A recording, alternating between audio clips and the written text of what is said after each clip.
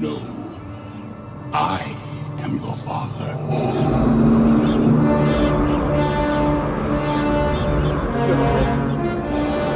no. It's not true. That's impossible! Search your feelings. You know it to be true.